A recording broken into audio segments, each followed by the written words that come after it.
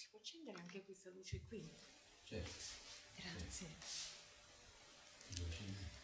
Narayanam namaskritya naram chavo narottamam devim sarasvatim vyasam tato jayamudirayet nastapraye svabhadresu nityam bhagavata sevaya bhagavate uttamashloke bhaktir bhavati naishtiki Om Namo Bhagavate Vasudevaya. Om Namo Bhagavate Vasudevaya. Om Namo Bhagavate Vasudevaya. Om Namo Bhagavate Vasudevaya. Om Namo Bhagavate Vasudevaya. Om Namo Bhagavate Vasudevaya. Leggiamo dallo Srimad Bhagavatam, canto quinto, capitolo 18, verso numero 9. Mm. Quindi lo posso leggere, lo leggiamo insieme, ok. Uh, swasti. Svasti astu. Astu. Vishvasya. Vishvasya. Kalaha. Kalaha. Prasidatam. Prasidatam dhyayantu Dhyayantu bhutani. Bhutani. Shivam. Shivam. Mito. Mito. Diya Diya Manas. Manas. Cha. Cha. Badram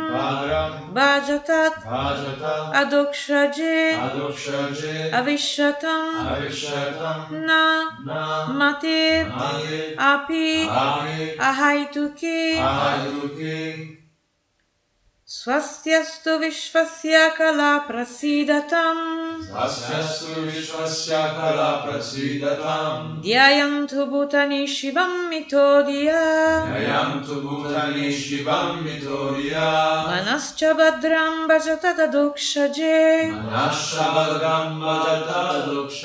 Avishatam Avishatam Na Na Matir Mani Api Ami Ahaituki Ahayuki Swastyastu Vishvasya Kala Prasidatam Asyastu Vishvasya Kala Prasidatam Dhyayantu Bhutani Shivam Mitodiya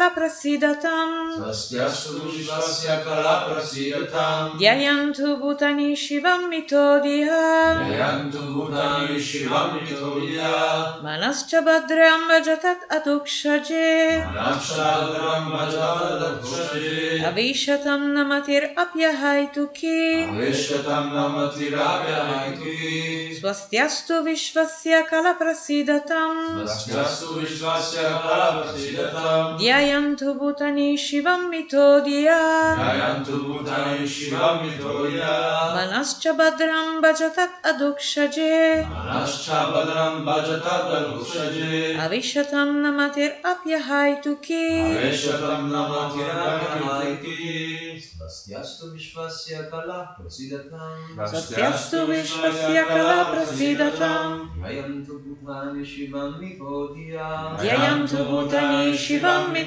Mitodiya Manashabhadram Bhajata Dokshaje Manascha Badram Bhajatat Adokshaje Vishatam Nomatirapya Haituki Avishatam Namatir Api Ahaituki Svastiastu Vishvasya Kala Prasidatam Svastiastu Vishvasya Kala Prasidatam Dhyayantu Bhutani Shivam Vitoriya Dhyayantu Bhutani Shivam Mitodiya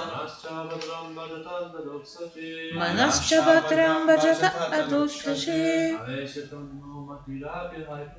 अविशतं नामतिर्याहायितु के स्वस्यास्तु विश्वास्य कला प्रसीदताम् स्वस्यास्तु विश्वस्य कला प्रसीदताम् अयन्तु भूतनि शिवं मिथोरिः व्ययम् तु भूतनि शिवं मिथोरिह मनश्च भद्रम्बत ददुक्षजे मनश्च भद्रम्बत भज अविश्यतं न मतिरा अविश्यतं न मतिर् Swasti Svasti Buon augurio. Buon augurio. Astu. Astu. Ci sia. Ci sia. Vishvasya. Vishvasya. Dell'intero universo. Dell'intero universo. Kalaha. Kalaha. Gli invidiosi cioè quasi tutti. Gli invidiosi cioè quasi tutti Prasidatam Prasidatam che siano tranquillizzati. Che siano tranquillizzati. Dhyayantu Yayantu che essi considerino. Che essi considerino. Bhutani. Bhutani. Tutti gli esseri viventi. Tutti gli esseri viventi. Shivam. Shivam. Fortuna fortuna Mitaha reciproca reciproca Dia Diha con la loro intelligenza con la loro intelligenza Mana Manaha, Manaha. la mente. La mente. Cha Cha. e E. Bhadram, Bhadra. tranquillità. Tranquillità. Vajatat, Vajata. che sperimentino. Esperimenti. Adokshaje, Adokshale. Dio la persona suprema Dio la persona suprema. che è oltre la percezione della mente, Che è oltre la percezione della mente. dell'intelligenza e dei sensi. Dell'intelligenza e dei sensi. Avishatam, Aveshata. che siano assorti. Che siano assorti. Naha, Naha. nostra. Nostra. Mati, Mate. intelligenza. Intelligenza. Api, Api. in verità. In verità. Ahaituki, Ahatuke. senza alcuna motivazione. Senza alcuna motivazione. Quindi adesso sappiamo che Shivam significa fortuna. Di buon auspicio, Shivam. Traduzione. Che tutto l'universo possa conoscere la fortuna e tutte le persone invidiose possano essere placate. Che tutti gli esseri viventi trovino la pace praticando il Bhakti Yoga, perché adottando il servizio di devozione penseranno al loro bene reciproco. Impegniamoci dunque tutti nel servizio della trascendenza suprema, Sri Krishna, e che i nostri pensieri rimangano costantemente assorti nella sua persona. Spiegazione di Shila Prabhupada. Il verso seguente descrive il Vaishnava. Vancha kalpatarubhyascha kripa sindubhya ivacha patitanam pavanibhyo vaishnavebhyo namo namaha. Simile a un albero dei desideri, il Vaishnava può appagare i desideri di chiunque trovi rifugio ai suoi piedi di loto. A questo proposito, Prahlad Maharaj costituisce un esempio tipico di Vaishnava. Egli non pregava per se stesso, ma per tutti gli esseri viventi, buoni, gli invidiosi e i malvagi. Pensava sempre al bene di esseri malvagi come suo padre, Hiranyakashipu. Prahlad Maharaj non chiese niente per sé, pregò piuttosto il Signore di accordare il suo perdono al padre demoniaco. Questo è l'atteggiamento degno di un Vaishnava che medita continuamente sul benessere di tutto l'universo. Fermiamoci un attimo qui, la spiegazione è molto lunga, la affrontiamo un pezzettino alla volta. Uh, quindi qui nella, nella, nella, traduzione leggiamo, ah, scusate, no, devo fare gli omaggi al mio maestro spirituale. Omagyana timirandasya gyananjana shalakaya chakshurun militamyena tasmai shri gurave namaha. Offro i miei rispettosi omaggi al mio maestro spirituale che mi ha aperto gli occhi con la torcia della conoscenza trascendentale.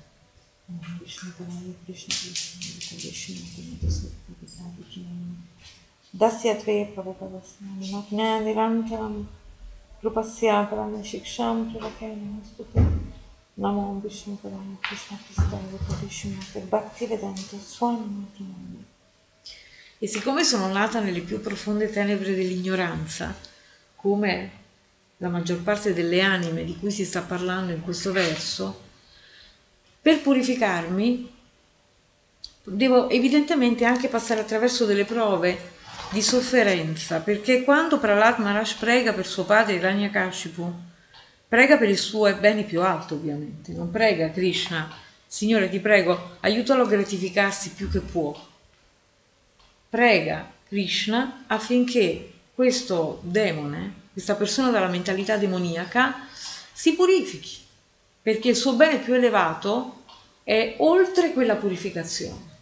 Deve passare attraverso quel, quel, quella prova per potersi purificare, altrimenti quel fuoco, no? Fuoco della purificazione. Quindi il Ragnakashipu passa attraverso un fuoco molto pesante di purificazione, perché addirittura viene Narashingadev a ucciderlo in quel modo così cruento, no? Quindi una prova molto cruenta quella di Ragnakashipu.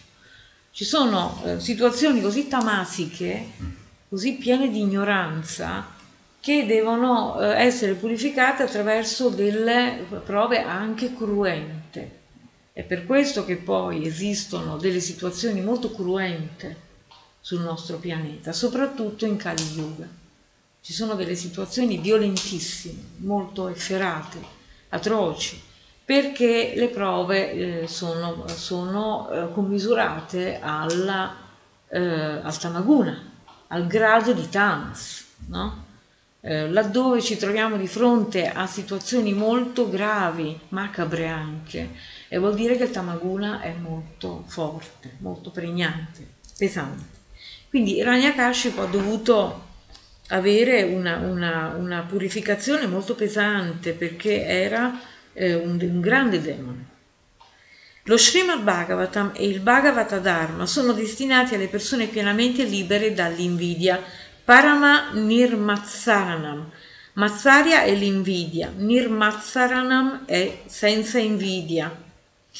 Quindi ovviamente sappiamo che lo Srimad Bhagavatam e il Bhagavata Dharma sono per i Paramahamsa per le grandi anime. Sono destinati essenzialmente a loro, eh, eh, nel senso che li fanno gustare. I, puri devoti gustano il Bhagavata Dharma, lo Srimad Bhagavatam, pienamente. Eh, per loro è una forma di estasi leggere lo Srimad Bhagavatam, praticare il servizio di devozione per noi invece al nostro livello è una purificazione, quindi in questo senso è destinato anche a noi. Eh, ci sono, no? Oggi eh, parleremo di questi tre livelli, no? Mm. Sambanda, Bidei e Prayojana. Quindi queste scritture possono essere percepite come il servizio devozionale eh, a diversi livelli, secondo che noi siamo situati nel Sambanda, nella Videya o nel Prayojana, con la nostra coscienza. Sambanda è l'inizio, proprio la, lo stadio iniziale di eh, purificazione, e Abideia è il percorso di purificazione. Noi entriamo nella purificazione e cominciamo questo percorso. Prayojana è il traguardo della purificazione, cioè l'amore per Dio. Quindi i Paramansa percepiscono così le scritture e il servizio devozionale, sul livello del Prayojana. Perciò il Prahlad Maharaj prega qui che tutti gli invidiosi siano rapacificati, kalaprasidatam. L'universo materiale è pieno di persone invidiose, ma colui che giunge a liberarsi dall'invidia diventa magnanimo nei suoi rapporti sociali qualora pensare al bene altrui. Uno può dire, vabbè, allora posso anche manifestare la mia invidia in quest'altro modo, celarla, no? Tra, tra, eh, travestirla eh, siccome comunque la purificazione deve passare anche attraverso prove molto cruente, io posso pregare per il bene altrui in qualche modo anche saziare la mia invidia sapendo che quella persona comunque dovrà soffrire per purificarsi. Eh, queste sono cose molto sottili che bisogna eh, curare con grande, grande, attenzione perché poi si fa un'offesa, no? Ci sono le Vaishnava Parad, ma ci sono anche le Jana Parad, le Parad fatte alle persone in generale, anche i non devoti. Quindi, e che poi eh, hanno delle ripercussioni, le Jana Parad eh, facilmente diventano Vaishnava Parad. Cioè quel vizio di, quel vizio di base eh, viene trasportato anche nel servizio devozionale e, e, e si pagano anche le, le, offese ai non devoti, eh, in una certa misura, ma quelle ai devoti sono pesantissime, dunque eh, se noi non curiamo Jana Parad e poi facciamo Vaishnava Parad abbiamo un problema grosso. Eh, per cui il problema va risolto alla radice, niente Jana Parad.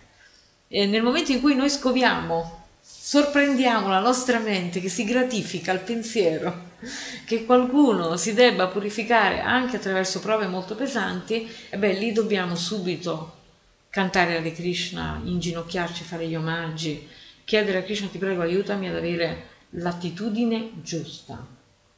Se io non riesco a pensare agli altri in maniera positiva, allora è meglio se evito di pensare agli altri, meglio che penso a me stessa alla mia purificazione, che mi immergono in, un qualsiasi servizio, anche proprio super pratico, se questo in qualche modo fa scendere eh, la mia coscienza alla pianura. Quindi sono cose molto sottili che bisogna curare con attenzione. Chiunque adotti la coscienza di Krishna e si immerga completamente nel servizio del Signore allontana ogni invidia dalla sua mente. L'abbiamo appena detto, se ci immergiamo completamente nel servizio, che cosa succede? Che la mente tace. siccome noi non le diamo ascolto, lei sta zitta. Se uno parla e, uno, gli altri non ascoltano, a un certo punto sta zitto, no? La mente fa così. Eh, quindi dobbiamo eh, zittirla in questo modo, impegnandoci nel servizio di devozione. Non accanendoci con la mente, stai zitta, cioè, perché lei poi no, pungola ancora di più. La portiamo con noi, la impegniamo nel servizio di devozione. Manas Chabadram Bhajatat Adokshaje. Dobbiamo dunque pregare Sri Narashingadev di risiedere nel nostro cuore. Bahir Nrishingori, Bahir Nishingori, Dayen Nishingori, perché? Perché lui pulisce questo male sottile dell'invidia. Possa Sri Narashingadev dimorare nel più profondo del mio cuore e distruggere tutte le mie cattive tendenze. Che la mia mente si purifichi in modo che io possa adorare serenamente il Signore e portare la pace al mondo intero, perché poi al di là di noi c'è un bene più alto. Noi siamo abituati a pensare al nostro bene, ma c'è un bene più alto che va oltre noi, oltre le nostre emozioni, oltre i nostri sentimenti, oltre i nostri attaccamenti, no? che sono meschini, sono piccini e sono meschini. Eh, noi dobbiamo concentrarci su questo bene più alto, che è il bene per tutti. Quindi allargare la nostra visione e eh, ampliare le nostre eh, aspirazioni. Questo è importante. Uh, Shila Vishwanath Chakravarti Thakur ci ha lasciato a questo proposito un meraviglioso commento. Egli spiega che ogni volta che rivolgiamo una preghiera a Dio, la persona suprema, gli domandiamo qualche benedizione. Anche i puri devoti, Niskama, implorano da lui alcune benedizioni, come Sri Chaitanya Mahaprabhu ci ha insegnato nel suo Shikshastaka. Ai Nanda Tanuja Kinkaram, Patitam Mam Vishvame Bhavam Kripaya Tava Pada Pankaja, Stiti Duri Sadrisham Vicintaya. Io sono il tuo servitore eterno, o Krishna, figlio di Nanda Maharaj, eppure per qualche ragione sono caduto nell'oceano dell'esistenza materiale. Ti prego dunque sottraimi a queste onde di nascita e morte e trasformami in un atomo di polvere ai tuoi piedi di loto. In un'altra preghiera Sri Chaitanya dichiara Mama Janmani Janmanishvari Bhavatar Bhaktirai Tukitwai. O Signore, concedimi di immergermi senza fine, vita dopo vita, nel servizio d'amore puro e assoluto ai tuoi piedi di loto. Qui siamo proprio al pinnacolo della pura devozione, perché vita dopo vita, cioè non, non si chiede neanche più di liberarsi dal ciclo di nascita e morte, ma si chiede semplicemente di essere impegnati in servizio devozionale, perché noi sappiamo che in ultima analisi la materia è spirito e che il puro devoto non vede differenza tra la materia e lo spirito, le vede completamente compenetrate uno nell'altra e si impegna perfettamente nel servizio di devozione.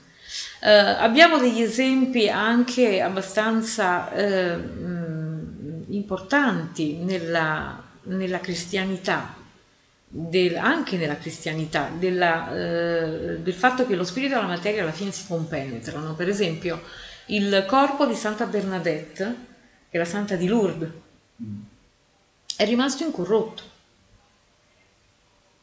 È rimasto incorrotto, è lì così, non c'è più lei lì l'anima è andata via da quel corpo, ma era talmente spiritualizzato quel corpo lì, è stato talmente benedetto dalla, dall'energia interna, dall'energia spirituale, che è rimasto incorrotto.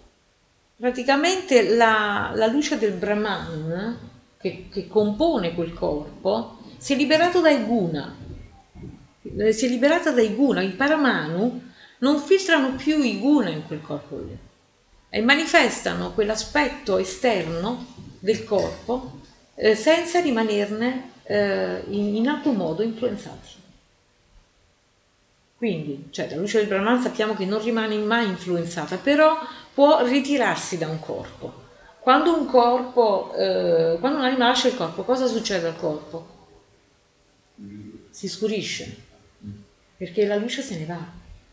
Se ne va la luce dell'anima che lo abitava, che pure è luminosa, ma se ne vanno anche gli atomi di luce del Brahman da quel corpo lì, per cui quel corpo si decompone.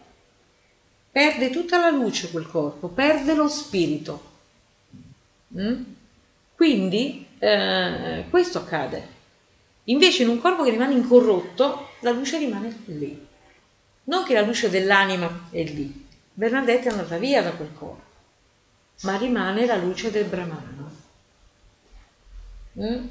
Che è libera di rimanere o non rimanere. Krishna è libero di decidere se quella luce debba rimanere nel corpo oppure no. Ma di fatto può succedere perché un corpo si spiritualizza completamente. E allora eh, ci sono questi fenomeni bellissimi che ci, fanno, ci dimostrano eh, che noi possiamo, anche all'interno del corpo materiale, essere completamente liberati. Jivanmukta, no? Liberarci all'interno del corpo materiale, non sentire più l'influsso dei guna, eh, essere situati nel perfetto Bhakti Yoga.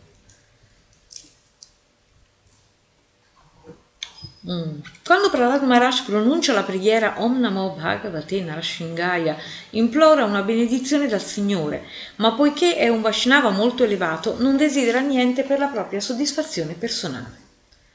Il primo desiderio formulato nella sua preghiera mira infatti alla felicità dell'universo intero, Swastyastu Vishvasya.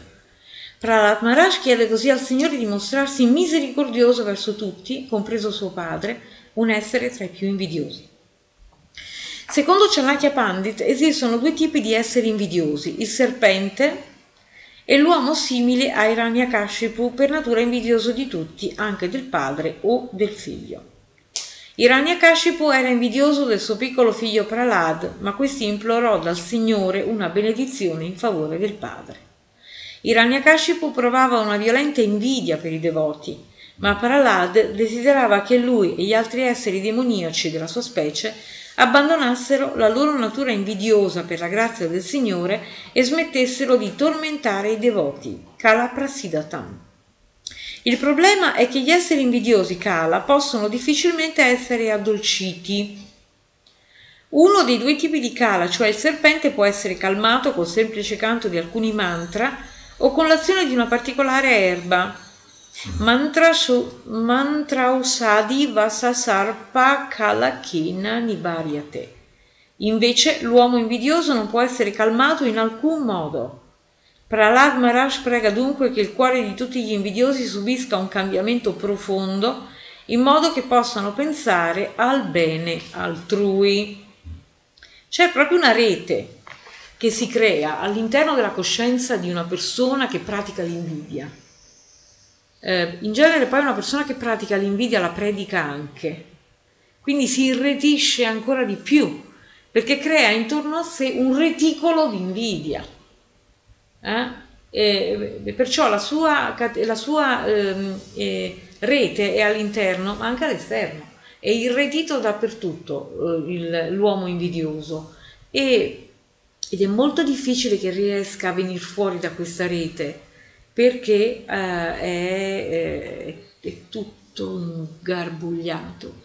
Eh, ci sono i pesi del, delle, delle cattiverie, delle, degli errori. Gli errori pesano molto sulla coscienza, eh, impediscono di fare un passo positivo, un passo verso l'uscita da questa situazione. Eh, come quando noi abbiamo una palla al piede e vogliamo camminare, non possiamo camminare perché abbiamo la palla al piede. E quindi quei pesi sulla coscienza impediscono di andare con la coscienza verso l'uscita da quella situazione, che sono pesi molto pesanti. Um, quindi la persona invidiosa ha bisogno di tanta misericordia anche proprio in forme pesanti, perché quanto più la malattia è pesante, tanto più la terapia deve essere pesante ci vuole la terapia d'urto per una malattia forte, no? E, e quindi eh, quando la malattia dell'invidia è forte, la terapia deve essere altrettanto forte, altrimenti non serve a niente. Ehm, ovviamente stiamo parlando di Ranyakashipu che è un grande demone, i demoni del Kali Yuga sono demonietti. Eh, nonostante questo succedono anche delle cose molto brutte. Se il movimento per la coscienza di Krishna si diffonde in tutto il mondo e se per la grazia di Krishna tutti gli uomini l'accettano, la mentalità degli invidiosi cambierà. Ognuno sarà in grado di pensare al bene altrui. Perciò Prahlad Maharaj prega Shiva Mitodia, Nell'ambito dell'attività materiale tutti nutrono invidia, ma nella coscienza di Krishna nessuno invidia un'altra persona, ognuno pensa invece al bene altrui. Anche perché poi il devoto, per quanto neofita possa essere, ha sempre una soddisfazione in se stesso. E, più avanza, più si sente soddisfatto in se stesso, perché il suo rapporto con Krishna cresce. E quel rapporto è talmente speciale, talmente bello, unico e, e soprattutto inconcepibile, incredibile, ehm, che praticamente il devoto sente una soddisfazione in se stesso tale che gli permette di non invidiare più nessuno eh, e di pensare al bene altrui. Eh, questo, questo, è il, il, segreto del Bhakti Yoga, no? che ci si sente uh, tranquilli, sereni, pacifici. Krishna è eh, il mio Signore, colui che mi protegge, mi difende, mi riscatta, mi aiuta, mi impegna, mi, mi rende la mia vita eh, luminosa e serena, piena di bellissime attività spirituali eh, e mi permette anche di poter trasmettere in, in un certo modo, in una certa misura, anche agli altri questa mia soddisfazione interiore, eh, quando poi addirittura non manifesta certe opulenze anche agli altri attraverso il mio servizio. Allora lì c'è proprio eh, una grande realizzazione e, e, ci si sente sempre, ancora più soddisfatti, aumenta la fede. Prahlad Maharaj prega dunque affinché la mente di tutti si volga verso il bene, fissandosi ai piedi di loto di Krishna, Bhajatat Adokshaje. Lo Srimad Bhagavatam insegna in un altro passo Savaimana Krishna Padaravindayo. Vachamsi Vaikunta Gunanuvarnane Karo Harer Mandira Marjanadishu Shrutim Chakarachuta Satkatodari. Questo è Ambarish Maharaj, che impegnava tutti i sensi al servizio del Signore e uh, uh, Shrutim Chakarachuta Satkatodaya. Che bello. Lo Shrutim, la capacità di ascoltare nella Katodaye, nella Krishna Kata. Sat Katodaye, nella Kata eterna. Non ascoltava niente che fosse Asat, Ambarisha Maharaj. Eh? Ascoltava solo tutto quello che era Sat.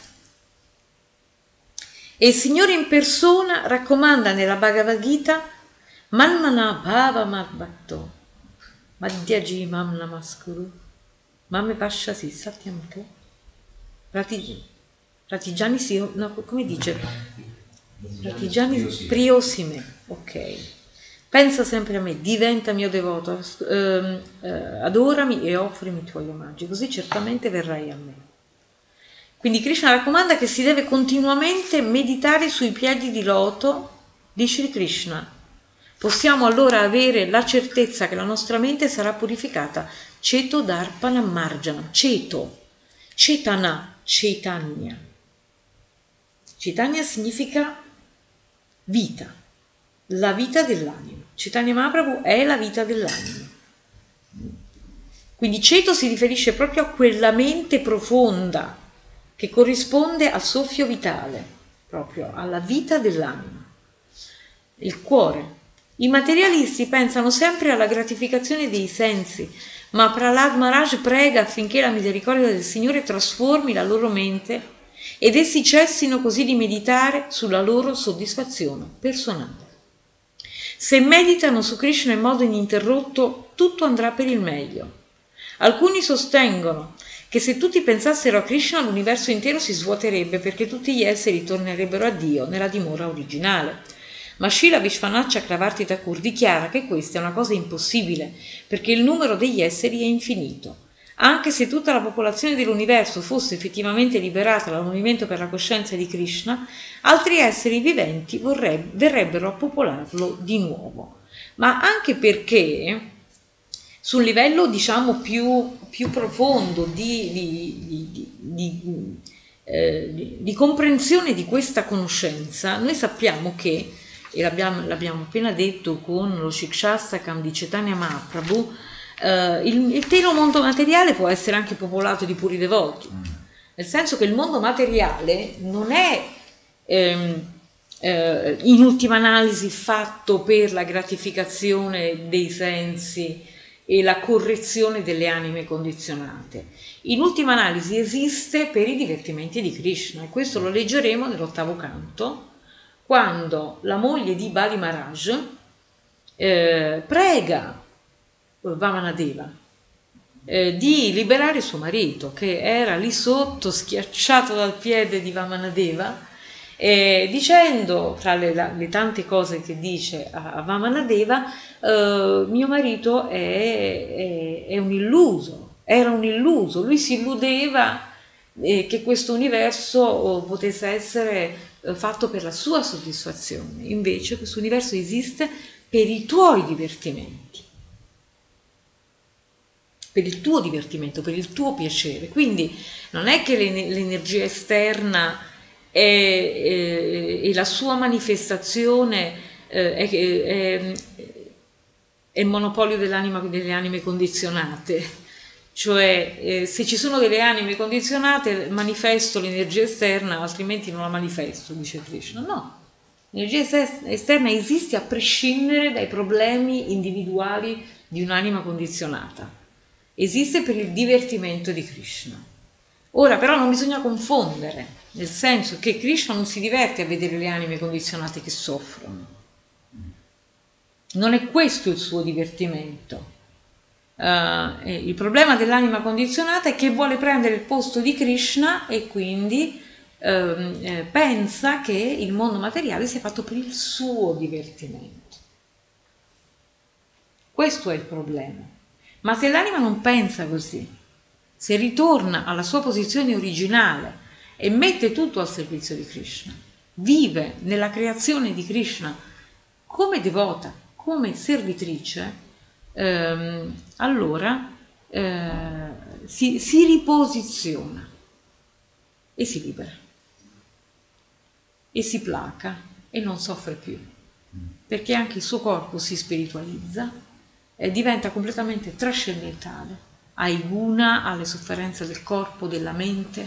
Un puro devoto non ha pro- i problemi che ha un'anima condizionata, anche quando è in un corpo materiale. Vediamo per esempio Dhruva Maharaj. Dhruva Maharaj se ne va nel mondo spirituale, nel corpo materiale.